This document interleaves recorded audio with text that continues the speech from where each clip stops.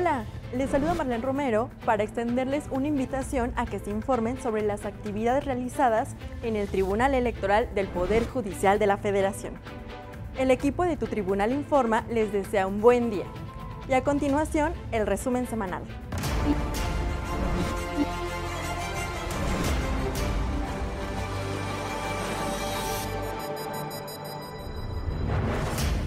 En las instalaciones de la Escuela Judicial Electoral, la EGE, Christian Komplak, profesor de Derecho Constitucional de la Universidad de Wrocław, Polonia, dictó la conferencia magistral La Justicia Constitucional en Polonia. Como comentarista participó Jakub Zurek, profesor de Derecho Constitucional de la Universidad de Ciencias Naturales de Wrocław, en la misma Polonia. En sesión pública presencial, las magistradas y los magistrados de la Sala Superior resolvieron asuntos relacionados con la elección de ayuntamientos en Puebla, así como diversos temas de fiscalización. Desahogaron 65 medios de impugnación correspondientes a 37 proyectos de sentencia. Como cada año se llevó a cabo la ceremonia de instalación y la sesión pública del Tribunal Electoral Infantil, impulsado por la magistrada presidenta del Tribunal Electoral Mónica Soto Fregoso y la Dirección General de Relaciones Institucionales Nacionales a cargo de Jorge Sánchez Morales. En esta séptima edición, bajo el lema ¿Qué piensa la niñez? Justicia, Democracia y la Era Digital, participaron con entusiasmo 741 niñas y 645 niños de las 32 entidades del país de entre 9 y 12 años de edad.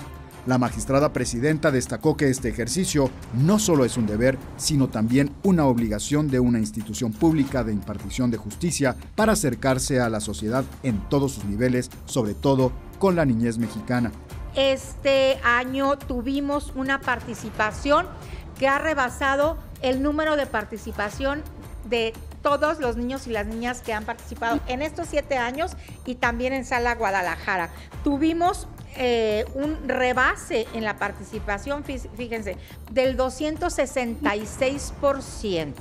No fue el 50% más del año pasado, no fue el 100% más, no, fue el 250, 266% de participación más que el año pasado. Durante la sesión pública del Tribunal Electoral Infantil en el Salón de Plenos de la Sala Superior, las magistradas y los magistrados infantiles fijaron su posición sobre la democracia, la justicia, la igualdad y los derechos de la infancia, entre otros temas.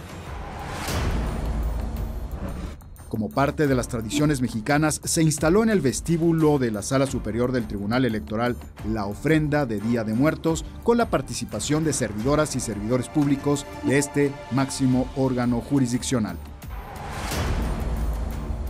En las instalaciones de la Escuela Judicial Electoral, la EGE, continuaron las actividades académicas de Masterclass.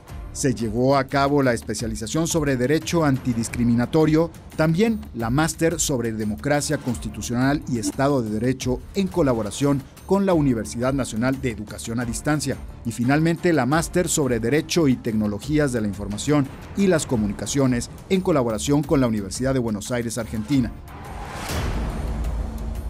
fin de dar a conocer las actividades esenciales del Tribunal Electoral desde su interior, se llevó a cabo una visita guiada por las instalaciones de la Sala Superior.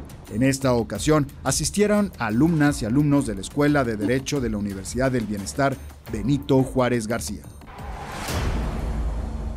Como vieron, fue una semana con mucha actividad. No olviden seguir al Tribunal Electoral en todas sus plataformas y redes sociales para estar al día de lo que acontece en este órgano judicial. Hasta luego. Tribunal Electoral del Poder Judicial de la Federación. Tu tribunal.